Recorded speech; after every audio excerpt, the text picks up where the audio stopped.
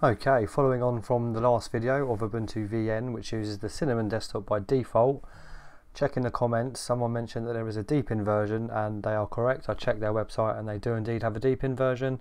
So we're going to have a quick look at the Deepin version as well. From what I can see, it uses the latest version of the Deepin desktop, which is version 20, which is still in beta. I do believe, don't quote me on that, I'm pretty sure it's still in beta. In fact, I think it is, yeah. Um, so we're going to have a quick run through of this one. Again, I'm not too knowledgeable on this desktop sort of distribution whatsoever. So we're going to just sort of go through it and sort of fumble our way through it together. So by default it selects this language here, but we're going to go for English. Um, we haven't read or we don't really agree to it, but we're going to go for it anyway. So we're going to click next.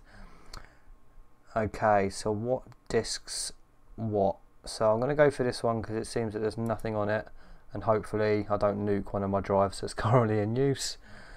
So again it uses the sort of quite strange partition layout that Deepin uses with multiple partitions and one's got recovery of 10 gig, one's got swap of 16, one's mounted at data at 54 gig, okay, one's root B at 15 gig, then we've got a 15 gig ext4 and we've got a boot of 2 gig ext4 and then we have a boot EFI 300 megabytes. So it's very strange partition layout and you can't use anything under 64 gig on this one. So let's go for start installation. So that's going to do all of that to our partitions now and let's click continue. Right as far as I'm aware we'll do our user accounts and stuff when we log back in. So I'm going to pause the video now but I'm just going to make a track of the time so we know how long this installation took so the time is 1.58am. I think this is the latest I've actually ever recorded a video. So I'm going to pause the video now and then when we come back, just before we reboot, we'll do a little time check and see how long it all took.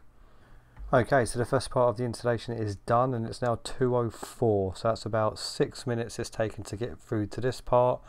Once we reboot though, we will have to do our sort of user accounts and probably choose language and stuff because I don't think we did that then did we? So I'm going to pause the video now and then once I'm done we'll be booting off disk. Okay so we're just at the login screen now so we'll just type in our password.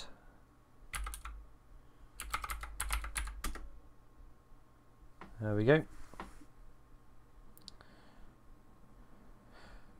Right I just need to mirror the displays because it hasn't done it for us. Let's go into the settings uh, where is it on Deepin? I always forget. Oh, there's a little cog right there for us. Right, bear with me. Okay, cool. So we can see the same thing now. And as you can see, it's the standard sort of Deepin 20 setup with a panel at the bottom and it's currently in efficient mode. Nope, fashion mode, sorry, where you get the rounded corners and there's like gaps between the um, screen edges there. Before we have a look at everything though, we're going to run an update. So let's get into a terminal.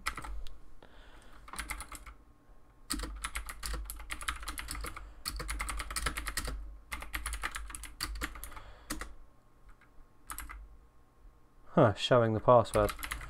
Fortunately, we don't use any. I'll tell you what. Why is it showing the password? Do you know what? I think it's to do with this. This was confusing me in the first video. Let me try try and press English US a minute. Let me do that again. Ah, there we go. So now we've hidden the characters. So we sort of that confused me in the first video of the last one we just did. But fortunately, we know what that's all about now. We've just got a notification for package cache has been wiped. Let's type in our password to run the update. Okay, and let's quickly see what repos it is updating from. So it's got the Google repo there again for Chrome. So Chrome is our default web browser, like the Ubuntu VN Cinnamon one that we last looked at. And then we have the community packages .deepin slash deepin apricot repos. Okay, so has it found anything? It did. So we just installed a new package which is the Deepin User Experience daemon and then we upgraded DDE Control Center and Google Chrome Stable. Okay, so let's have a look at how they've done this taskbar here. So this is the Deepin taskbar or panel, whatever you want to call it. You have your recycle bin there, turn off button there, got a clock there and if you click that I do believe you can change the um, there you go so you can change it to 24 and 12 hour and you can also get into the time there so it's not actually 3 a.m. it's only 2 a.m. so I think the time's a bit different there why has it got the wrong time time settings let's bring that down to the correct time just so I know what I'm doing type in our password right should be on the right time now there we go 208 and then what we have here is Onboard so I think that's the on-screen keyboard. It is indeed. Can we close that just by clicking it? And then if you press that that will collapse and hide the icons that you've got there which will be notifications network sound removable drives and then that sort of language thing that we just clicked. Is that gone? Yeah.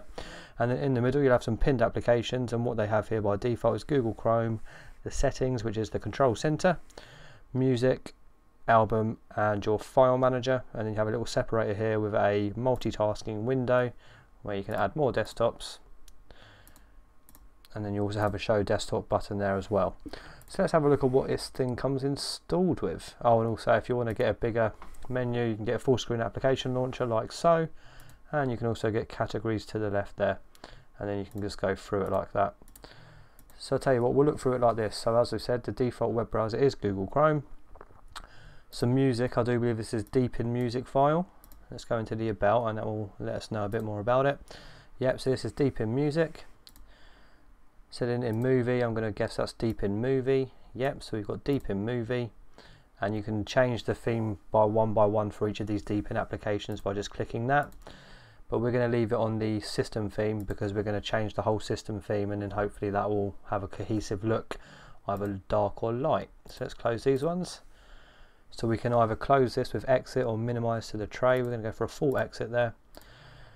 So we have screen capture. So you can select a portion of your screen take a screenshot or record and then you can add annotations and text. So let's get rid of that.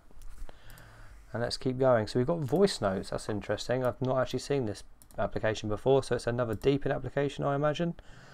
It is version 5.7.6 how does this work then? So if we create a notebook we could record with an input mic. I only have one mic plugged into not this current computer so we can't test it out. But interesting to have a little voice note notebook there. Right let's go back into our application launcher. So you get cheese the webcam viewer.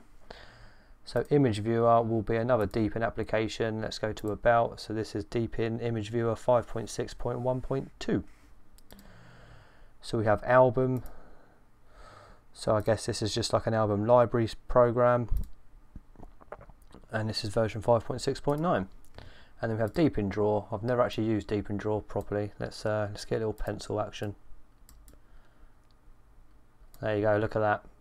What an artist. Let's get rid of that. Let's keep moving. So that was Deepin Draw so in office we don't have too much in office actually. We have golden dictionary GoldenDict simple scan manual. Let's open the manual okay so this just gives you um, sort of a little manual for the sort of applications that it has got installed here. So we won't worry about that too much. Let's keep moving. And we have document viewer so the files manager. So it's the deepin file manager where you have all your rounded corners like all the other deepin applications will have.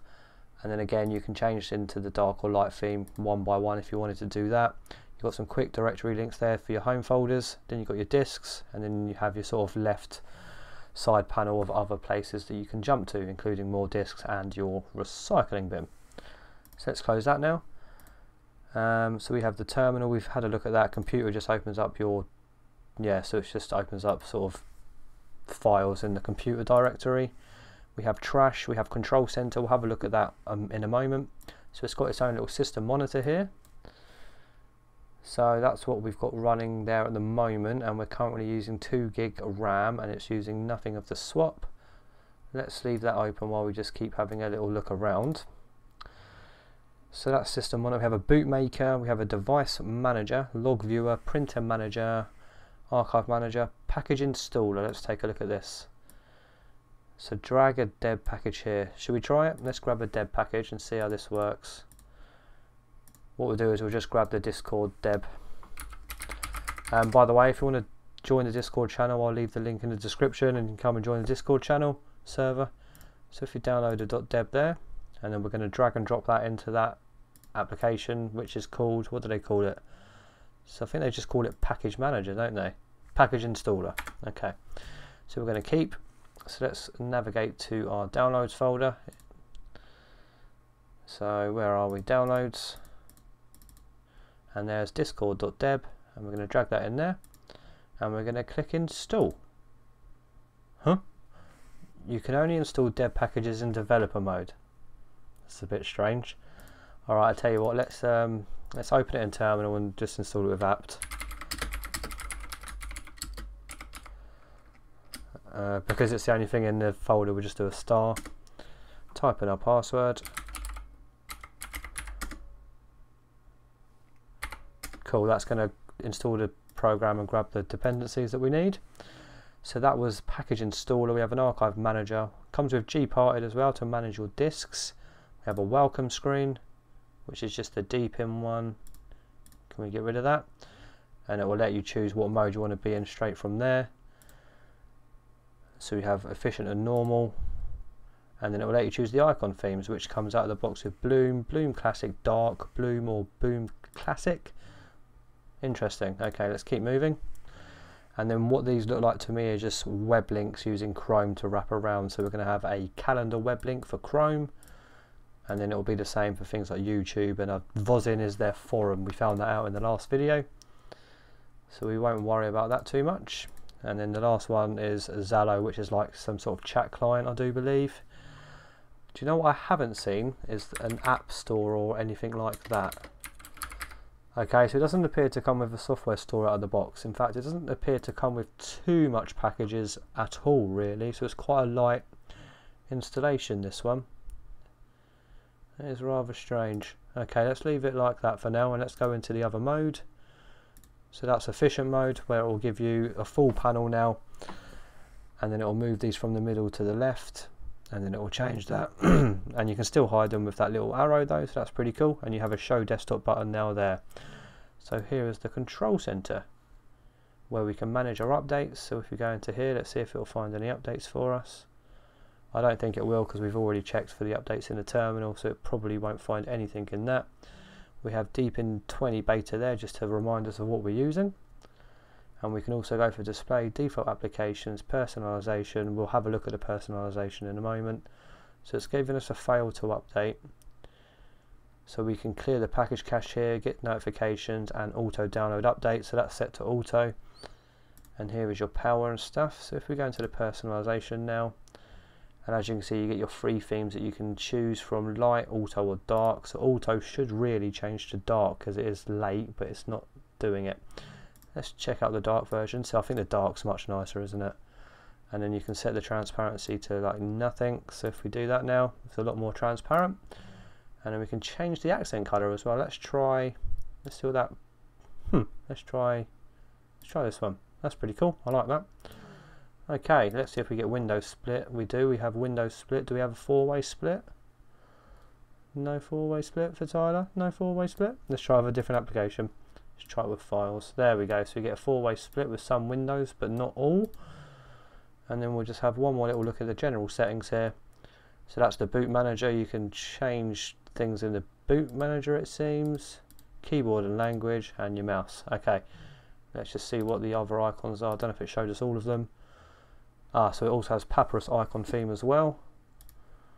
Right what we're going to do is do a reboot and just get a RAM reading and I think we're going to wrap it up there another sort of quite an interesting spin of Ubuntu. What I'm quite confused about though is the fact that there is no software store I would have thought they would have had one of those out of the box.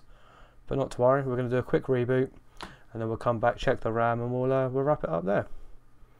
And we are back. Let's just log in very quickly. And then the first thing we're going to do is just jump into the system monitor and then see what the RAM is on that. I haven't installed HTOP so we'll just use their system monitor.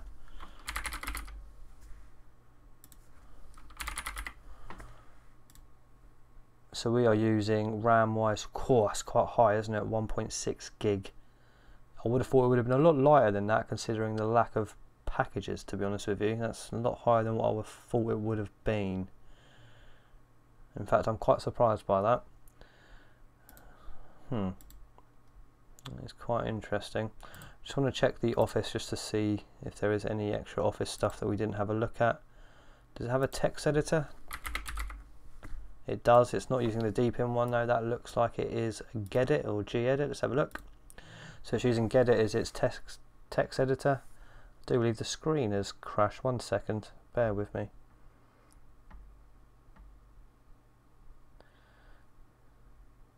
Should be back in a moment. Bang. Right, so what you didn't see was that the RAM was reading at about 1.6 gig at boot, and we did just check that the text editor we're using is Gedit. So I'm just going to open the system monitor again just to show you. Obviously it'll be a bit bigger now because we've opened up Gedit. So it's the same basically. As you can see, we're using quite a lot of RAM. I wouldn't have thought it would use that much, but there you go. Anyway, that's Ubuntu VN, their Deepin version. Thank you for watching. If you've enjoyed the video, please subscribe, and I'll see you on the next one. Bye bye.